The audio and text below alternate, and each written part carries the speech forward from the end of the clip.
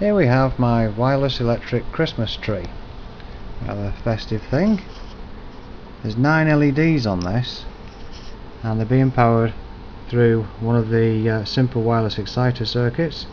Uh, we've got 20 winds on a bottle top and then the nine LEDs are all in parallel around the tree.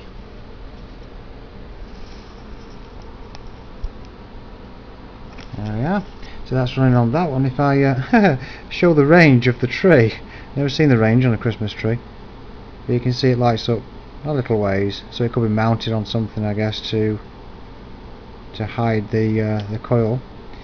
I can change over from this one and put, say, there we are. There's a bigger one. This is this one is made out of a mains cable. Came from uh, something or other connect up. Here's the AAA put the tree on and there we are the tree lights up.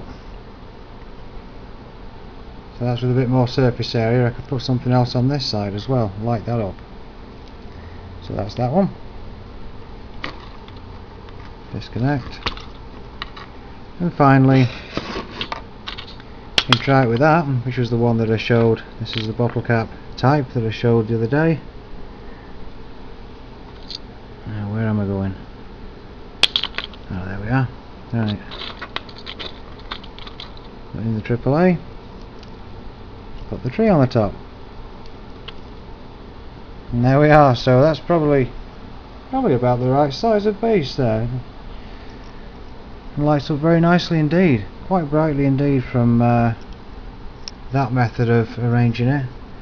So we've got the one coil on the bottom that's vertical the one above that's vertical and both of them are just bottle caps. So anyway there we go. Wireless electric Christmas tree